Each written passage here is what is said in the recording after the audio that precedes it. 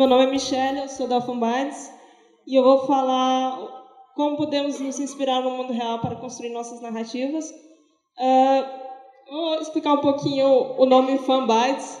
Esse foi o nome que a gente deu para a empresa quando nós nos unimos como um grupo informal indie.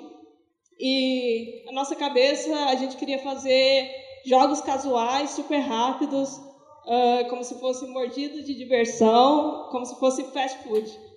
E a gente gostava de comer.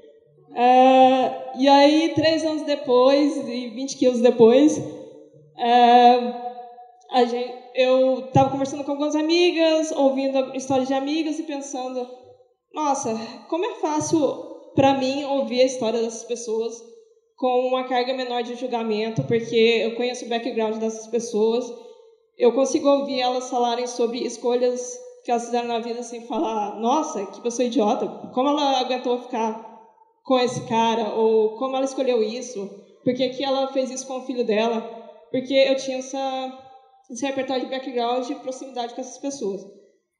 E eu pensei, uh, eu trabalho com a mídia que é muito mais propensa a trazer as pessoas para dentro de um universo e fazê-los pensarem sobre escolhas e sobre backgrounds, e eu não estou fazendo nada a respeito. Enfim, e aí agora a gente está trabalhando com alguns jogos com forte narrativa e questões cotidianas. Uh, espero que com a iluminação vocês consigam ver. Esses, esses são dois quadros da mesma temática. É a Judite decapitando o Holofênis. Esse é um personagem que ela seduz um abusador não seduz o abusador, mas é, ela pega uma situação de abuso e ela inverte essa situação para decapitar o abusador e é, ajudar o povo hebreu. E esses são dois retratos, um é do Caravaggio e o outro é da Artemisa. E o interessante notar, eu espero que vocês notem, que apesar das temáticas serem iguais, uh, o quadro da Artemisa é, as duas figuras elas estão muito mais compelidas naquela ação delas. Elas estão trabalhando juntas, quase como sororidade feminina. E aqui a, a está mais confusa e a amiga dela está mais tipo, ah, vamos terminar isso logo e fazer uns pãezinhos. E o interessante notar é que a história da Artemisia, além dela ser uma puta artista barroca, é que ela foi abusada pelo mestre dela.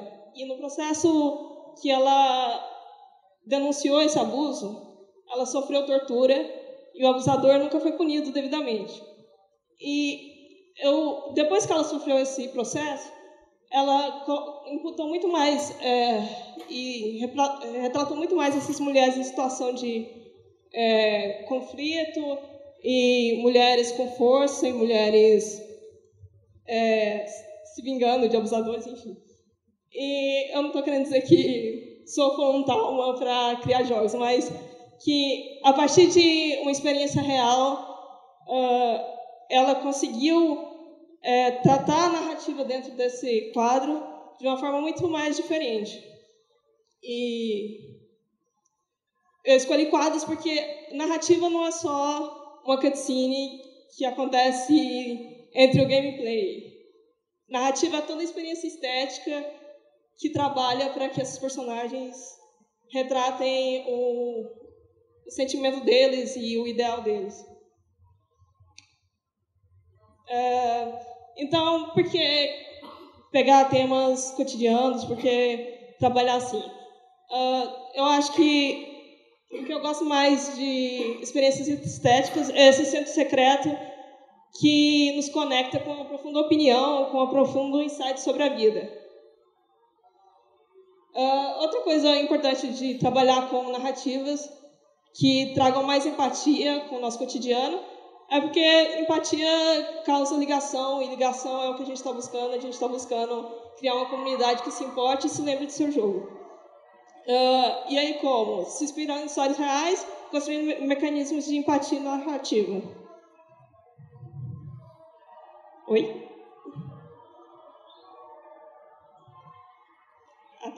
Uh, então, para se inspirar em histórias reais, primeiro caminhe longe dos seus preconceitos. Ouçam histórias uh, e é, abandone seus preconceitos. E é importante falar que empatia é diferente de simpatia, e parece meio óbvio, mas claro. Empatia é você é, se, é, está, se colocar no lugar do outro. Uh, você andar com os sapatos do outro. O que é, não significa que você vai sair na rua assim. Significa que você vai ouvir a história do outro, mas você não vai endossá-lo, você não vai concordar com aquilo. Mas você vai entender. Uh, e eu acho importante para essa construção, uh, um, dos, um dos tópicos importantes para construir a empatia é ter um termômetro de moralidade no seu desenvolvimento que informa o jogador quão ruim quão boa é a ação dentro do contexto do jogo. Uh, por exemplo, em Life is Strange, a Max segurando a arma e puxando o gatilho tem um peso muito maior dentro da narrativa do que em GTA ou algum jogo de FPS e você sair por aí detonando as pessoas. Uh, mas isso, uma coisa não é pior que a outra. A questão é que existe um termômetro moral estabelecido dentro daquele universo sobre o que você pode ou não fazer e quais são as consequências para os personagens. Uh, fantasia a tendência de se transportar imaginativamente para situações ficcionais. Uh, e isso não é só dentro da narrativa, é dentro de, enfim, da narrativa como personagem conversando, é dentro de todo o contexto de construção de universo. Uh, abrir uma porta, desenvolver ou abrir uma porta. Por que essa porta é aberta dessa forma? Porque obstáculos são importantes dentro de todos os jogos, né?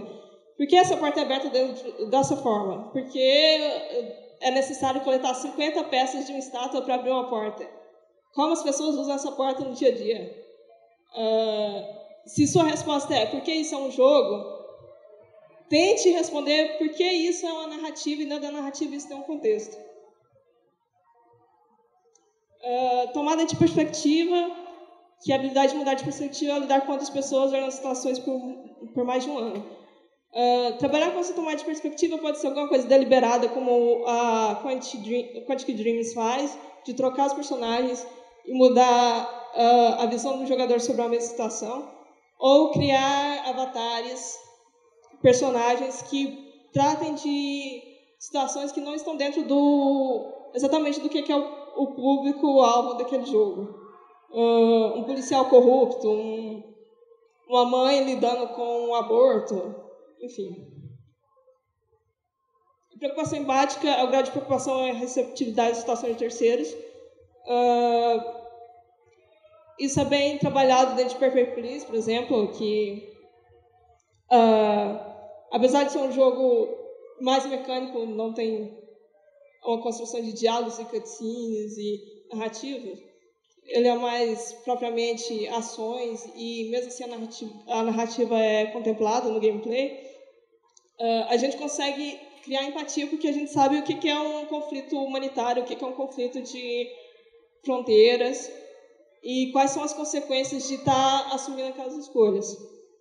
Uh, a aflição pessoal uh, são respostas de medo e apreensão e desconforto para presenciar experiências negativas de terceiros. Uh, se você quer incutir ao jogador uma preocupação de que uh, de que a ação daquele personagem pode ser impossível, ter sido impossível e inconsequente, faça o jogador fazer isso. Essa ação impossível e inconsequente. Não deixe apenas na mão da história. Isso pode ser criado com criar situações de estresse e desconforto em que ele tem que assumir essas posições e depois lidar com essas escolhas. Uh, e por fim, é meio que lembrar que personagens não são pessoas reais. Isso é meio bobo, mas é, é um conceito que a gente tem que levar de que o personagem está trabalhando dentro da narrativa. Pessoas reais são mais complexas e são e tem mais nuances do que tons de cinza. São tons de espectros de cores. Ele, as pessoas têm nuances maiores do que o personagem, porque o personagem está carregando o contexto da história e a grande mensagem que você quer passar. Bem, é isso. Música